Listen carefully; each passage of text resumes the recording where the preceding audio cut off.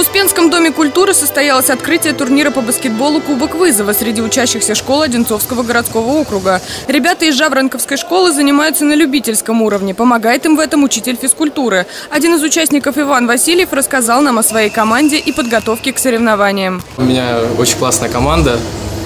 Там все очень э, специфичные игроки, так сказать. Э, Вот. э, У нас, конечно, не очень хорошая сыгранность.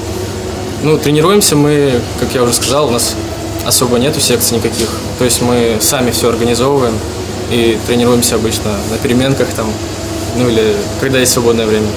Депутат Мособлдумы единорос Дмитрий Голубков является президентом баскетбольного клуба «Химки» и сам активно увлекается этим видом спорта. Он поздравил ребят с открытием турнира и подарил им инструмент профессионалов – баскетбольные мячи единой лиги ВТБ. Любой взрослый начинается с ребенка, поэтому любой профессиональный баскетболист, который во взрослые годы стал профессиональным атлетом, он начался здесь, начался в школе.